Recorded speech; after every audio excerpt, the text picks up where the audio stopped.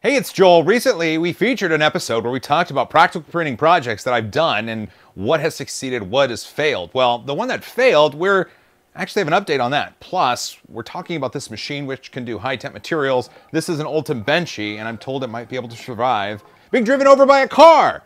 Let's talk about this, and then maybe let's do this right here on 3D Printing Nerd.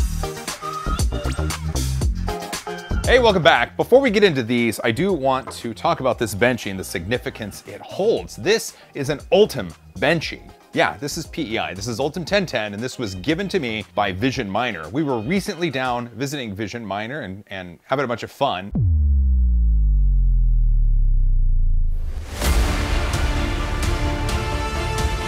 And I got to learn a lot more about these high-temp materials such as Ultem and PEEK. And what's great, and what I discovered, Ultem, when approached by fire, survives incredibly well. In fact, it beats PLA hands down. We had a lot of fun there. But when I was given this Benchy here, I was, I was told, I was like, Joel, this is dried Ultem. This Benchy could probably be safe when driven over by a car.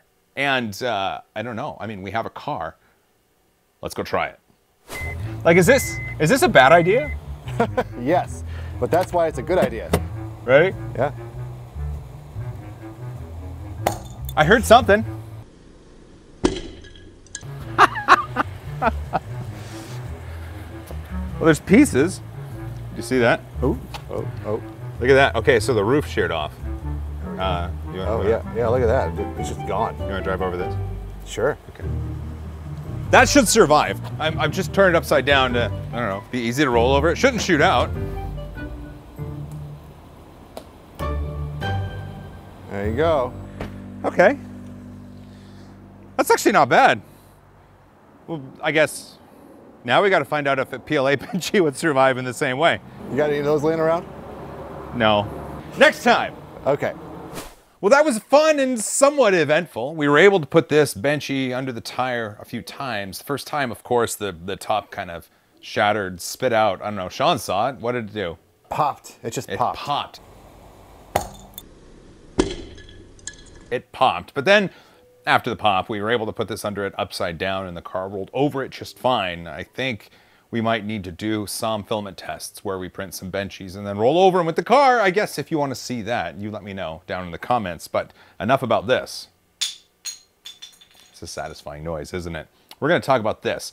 This is a model by someone who watched my practical printing video and said, you know what, I'm going to fix those tripod leg extensions for you. This person goes by Max Dark Dog on Thingiverse. That's a fantastic name. This person said it actually uses the same hardware you used before, so please print this. And you know what? That's a great idea. So I did. I printed three of them, and I did it on the FunMat HT Enhanced. Of course, I'm moving this over to the high temp stuff, but before I did, I had the 3DX Tech ASA filament already loaded. As we know, ASA is much like ABS in the way it prints, but it is resistive, resistive, resistant it resists UV, which is what the sun gives us, albeit not as much here in the Pacific Northwest. So, ABS-like qualities, this isn't really going to be seen outside, but it turned out great this machine, when printing these filaments, it's almost like using a cheat code because it adheres to the bed well. I'm using the Vision Miner nanopolymer and the chamber is heated and it allows for the material to be laid down in the best way possible. These look great, but now it's time for us to take them to the office and give them a test and see if the hardware fits, if the tripod legs fit, and if we can actually sturdy up that tripod and keep that camera from falling down. I'll see you at the office. Here we are, we're in the studio and I've got new parts. I've got old sad broken parts and I've got the tripod that we're trying to modify. We just need to verify the clearances of this part because we've got screws that go in it, we have nuts that go in it, and we have tripod leg and PVC pipe that go in it. So to start, I think it's important to loosen this because we're gonna take the foot off and verify that the tripod, tripod? The tripod leg goes in. I don't know, what's a tripod? Leave your comment down below. And perfect. It's got a little stopper down below, so they all go to a certain, uh, certain spot and then just stop. That's good. Okay, we verified that. Now let's make sure the PVC fits on the other side. Excellent. Look at that. This is turning out to be uh, awesome. Oops. Last but not least, do the screws fit through the holes? Yes, they do. One last bit of verification is to make sure that that nut goes where it needs to go.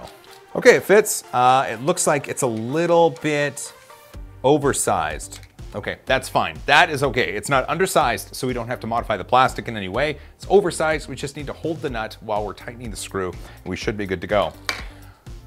Get back up there. This is now set to go. Let's get the tripod modified, and then let's make Sean's day a little bit better because it'll be up more.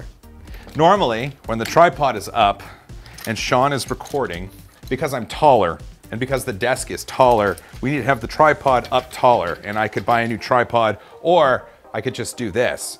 And when a $2,500 Blackmagic Pocket Cinema 6K is on top of it, any little hit and it goes over. So that's why we're modifying the tripod.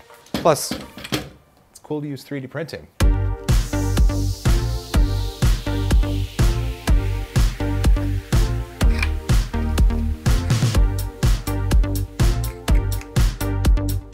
What do you think, eight inches?